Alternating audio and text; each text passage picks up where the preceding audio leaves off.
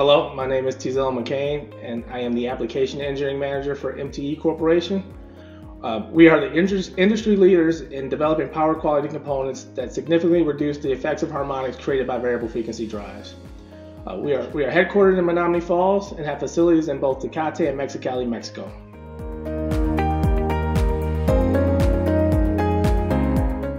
Some of the industries we serve include oil and gas, food and beverage, wastewater, and HVAC to name a few.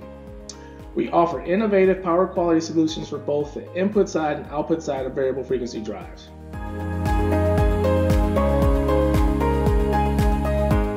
I believe what sets our, organiza our organization apart is our positive company culture, state of the art design tools, along with extremely talented people throughout the buildings that work together to develop, produce, and deliver our innovative products across the world.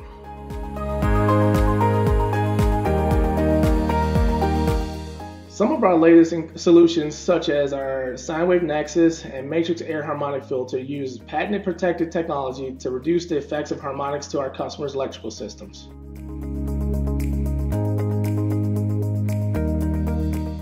Variable frequency drives offers many advantages um, when using them in your electrical systems. However, there are some challenges in the form of harmonics. Uh, we produce products that help resolve those challenges Simply put, uh, our products ensure that our customer systems run longer and are more efficient.